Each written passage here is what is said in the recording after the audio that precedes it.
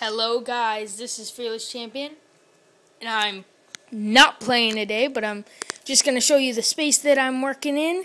Um, this should be coming out right after my microphone unboxing, so if you see trash, that's probably it. So let's go. Do, do, do. It's probably the worst space you'd ever see, but that laptop right there, it's bigger than you'd think.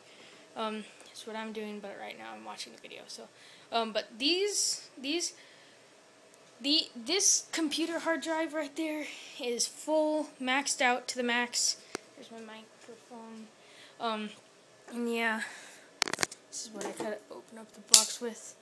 Um, you know, but uh, some Game Informer. Uh, you know, just like to show you an update video.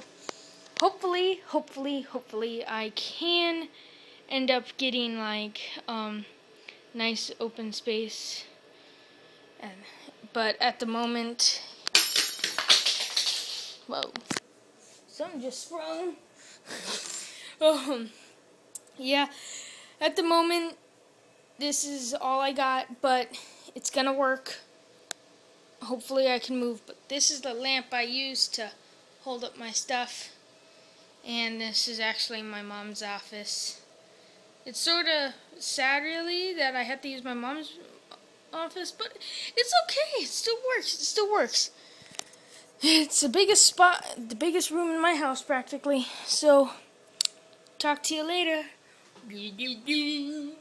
This was Fearless Champion making a video.